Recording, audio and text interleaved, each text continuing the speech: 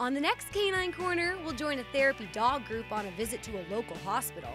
Plus, ever wondered how to strengthen the bond between you and your dog? We have some ideas that can help, and we'll tell you how you can give this adorable girl a forever home. All this coming up on the next Canine Corner.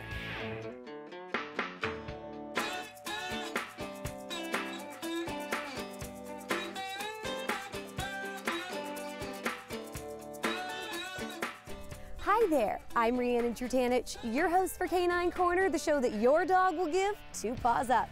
We have a bow wow rific show for you today. See what I did there? This show will make you feel all warm and fuzzy because it's about giving back and bonding with your dog. Love on Four Paws will be here to talk to us about their organization. Plus, my co-host Popeye Trutanich will be here to help me go over some ways to bond with your dog. But first, Kenmar Rescue is here, and you know what that means. Adorable rescue dogs, of course. Hello, my name is Ken Guild, and I'm the co-founder of Kenmar Rescue along with Marty Petrie. We're a Los Angeles-based rescue, and we're foster-based. We feel that having the dogs in a foster home will let us be able to tell the personality of the dog. So we've done very well. We've saved over 700 dogs in the last seven years. Hi, Riannon. Thanks for having us on your show today. And we just want to talk about needing our more foster parents. We're a foster based rescue, and for every foster family that we have, we get to save a life. And it's very important for people to know that we provide everything from the food, the medical, all the supplies. In turn, they provide the shelter and the love. Our adoption events are once a month, the second Saturday of every month, and they're from 11 to 3 at the Gelsons in La Cañada. So we welcome all the viewers to come out and meet new friends. Today we have Georgie. He's an owner surrender. The people that owned him found out that they couldn't have dogs, so we took him in. He's a year and four months. He's a Maltipoo, 12, 12 pounds, and he knows how to say sit. He knows how to sit when you say sit, and he's very sweet and he is very smart and he knows how to be very affectionate and he likes to walk on a leash. Today we have little Marley. She weighs a whopping four pounds. She's a portable pet. She's up to date with all of her shots. She is also crate trained and she loves to just sniff around and be a companion. She is a little Pomeranian blend um, and she is microchipped and spayed. And as always, we always do home checks on all of our adoptions. We bring them to you, and all you have to do is apply online. So if you're interested in giving a forever home to little Marley, uh, please reach out to us and let us know. If you'd like to foster for Kenmar Rescue, just visit our website at K-E-N-M-A-R-R-E-S-C-U-E, kenmarrescue.org, and fill out an online foster parent application, and we will give you a call. Now we have a very special treat. We had an amazing opportunity to tag along on a therapy dog visit with Love on Four Paws at Providence Little Company of Mary Hospital in Torrance. Take a look. If you saw him walking down the hallway of the hospital, you might do a double take. But Ace Anaya is a therapy dog. A few years ago, um, I wasn't feeling well, and Ace just was in tune with me. He knew when I wanted him to stay away, he'd stay away and just lay on the floor and just look at me. Or he knew when I was halfway ready, he'd come and with his nose, he'd hit me on my leg. Or then he knew when I was ready for a hug. So he'd come and give me a hug. So I thought I need to share him. Fast forward two years and many hospital visits later, Ace is a therapy dog who can make just about anyone he meets smile. Love on Four Paws is a nonprofit organization that focuses on providing pet therapy. And there's oh gosh, we visit facilities throughout LA County um, and we use our own personal pets. I was able to tag along with Victoria and Ace and see this therapy dog work his magic at Providence Little Company of Mary Hospital in Torrance. So during the normal visit, the first thing we do is we knock and we ask if they'd like a visit from the therapy dog. Um, they say yes, we'll go in. They want them on the bed, we put a clean sheet on the bed or over them, and we put the dog on the bed and they could pet him, they could hug him, they could talk to him, whatever it is they want to do with the pet. Love on Four Paws also gives patients a memento to remember their visit with the therapy dog. Um, so we'll visit for a while and then we'll take a picture, a Polaroid picture. If we ask if they'd like a picture, if they say yes, we'll take a Polaroid picture of the patient with the, the therapy dog. Many of the patients they visit are missing their own dogs and pets, so meeting a therapy dog provides them with a little comfort when they are away from home. They just want to hug an animal, to hug a dog and see into their eyes. You know, the dogs talk with their eyes. Hospital staff and visitors also stop to play and cuddle with Ace. It's easy to see how a therapy dog brings joy to a place not always known for that. Well, it helps them for one smile. When you're in a hospital, last thing you want to do is smile. You're just thinking about what's wrong. And when we bring a pet in, it takes them out of that. Even if it's for a few minutes, they forget why they're there. They forget what's going on, you know, with their body, and they're just happy. A therapy dog visit provides a patient with comfort that sometimes only an animal can provide.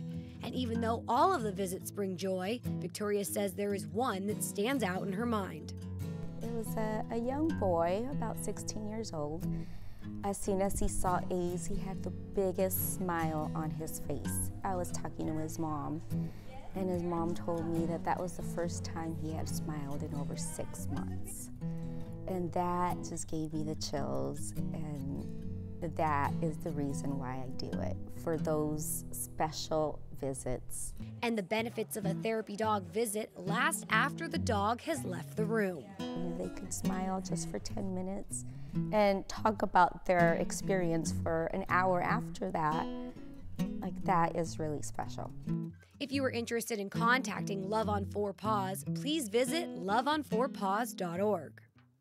Love on Four Paws does amazing work, and they'll be back later in the show. We're going to take a short break, but don't go anywhere. There's much more doggone fun when we come back. Welcome back to Canine Corner. I'm your host, Riannon Trutanich. My co-host, Popeye Trutanich, is here with me now to go over some ways you can strengthen the bond with your dog. The best way to achieve that is to stay connected and engaged with your dog at all times. But we'll get to that later. First, we're going to talk about the benefits of dog bonding. When you and your dog have a strong bond, it makes everything you do so much better. Going for a ride or taking a walk is even more fun when you and your dog are close. Secondly, training your dog becomes a breeze when you guys have a strong bond.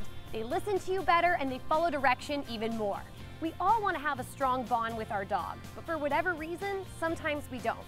Maybe you've adopted a new rescue dog, or maybe you travel a lot and are out of town for work. Whatever the reason, we're to give you a few ways to strengthen that bond between you and your dog. So now here's the fun part. Let's talk about some ways to strengthen the bond between you and your dog. One of the easiest ways to be in tune with your dog and to get to know their likes and dislikes is to spend time with them. If you're at home, sit on the couch and watch a movie, preferably a dog-themed one, right Popeye? Or just go outside and go in the backyard, bring your cup of coffee or tea and just sit and be with your dog. They'll love it. Now, if you're feeling ambitious, like Popeye and I were today, you can pack a picnic and head to your local park. Bring sandwiches for you and chips, or chips for your dog too, if they're anything like Popeye. Also bring your dog's food, water, and treats. If you go to a local dog park, you can even take your dog off leash, so bring their favorite tennis ball or toy and just have fun and enjoy the afternoon. And if you're like Popeye and I, you might want to dress alike, like we did today. It'll help, I promise. So another great way to strengthen that bond with your dog is to pet with purpose. Here on Canine Corner, we've talked about massaging your dog before, and that's a great way to get in tune with your dog. Just giving him a light massage, you know, maybe in the morning or at night for five or 10 minutes. Nothing too much, but just spending that time with them, and trust me, they will love it. Another great way is to brush your dog. I have a brush here for Popeye, a soft bristle one since he has shorter hair, but if your dog has longer hair, use the longer bristles and just give them, you know, a little bit of a brushing, maybe at nighttime before they go to sleep. Really, they'll enjoy it and you'll enjoy that time that you get to spend with them. So if you want to use walking as a way to enhance the bond between you and your dog, there's a few different things you can do. First of all, try not to wear headphones when you walk with your dog. That way your dog knows that you're connected to them and not focused on whatever you're listening to. Another way is to talk to your dog throughout the walk. Even if you're just saying you're tired and you want to go home, talk to them. It keeps you two interacting and it really helps. Point things out to them along the walking route as well. It makes everything more engaging and more enjoyable for you and your dog. So remember to love your dog, talk to your dog, and give some of these things a try to strengthen your bond with your dog. It looks like Popeye's about ready to get back to our picnic, so we'll see you later. Another great way to bond with your dog is to give back. Donating blankets, unopened dog food, and dog toys to animal control, as well as your local shelter and rescue groups, is a great way to help out. Love on Four Paws is back with us now to answer your questions about how you and your dog can get involved. Anyone could do it um, as long as it depends on the dog's temperament. They do, need to know their basic commands like sit, stay, come, leave it. Um, that's very important because there could be pills on the floor in the hospital. Um, they need to be able to walk without tugging at your leash. And as a handler, we need to have control over the pet. And the pet um, needs to be comfortable around strangers. They need to love people. That's very important. And they need to be able to stay calm when there's strange noises going around. There's a lot of different noises in hospitals and they need to be able to stay calm and stay focused. And that's what we, um, the organization looks for in dogs. We never did any formal training with Ace. Just as soon as we got him, we wanted to teach him the basic commands. And he just turned out to be a very mellow, loving dog. And when we went through the exam process, he passed the basic commands, he passed the scenario based where they make loud noises or they have um, a large amount of people coming, yelling, like they don't like dogs, and they give us opportunity to say or do what we do to keep them calm since we're trained, we're taking the exam with them together. And the last part of the exam was a separation exam where, uh, for instance, I left the room and I left him with strangers and he had to be fine being with strangers alone without me. And they did good. So any dog, as long as they have a good temperament and they love people, they're not afraid of strangers, you know, can be a good, would be a good candidate for a therapy dog. As far as volunteering, no, uh, but it, it is a nonprofit organization, so any contributions would help.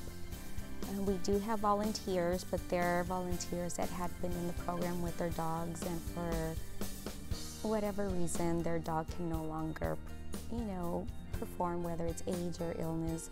So they, they'll be able to still continue and volunteer and they help us get the sheets, carry our bags, take photos. But if you don't have a pet in the program, unfortunately, right now the, the organization you know, is, does, isn't in need of volunteers, you could donate, definitely donate, which goes um, towards like the dog vest, you know, the handler's shirts, um, the exam process, all, you know, different things, Polaroid cameras, the film for the cameras to give to the patients, things like that.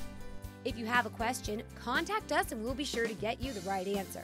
Call us at 310 618 5762 or email us at caninecorner at torranceca.gov. Now, if you missed the adoption segment at the beginning of our show or just want to see the adorable dogs again, here's your recap. Georgie is a Maltipoo. He's a year and four months old and weighs 12 pounds. He was surrendered by his owner. He's a very well mannered dog and knows how to sit. He also walks great on a leash. He's a very smart dog with a great personality. He's a very affectionate and sweet dog.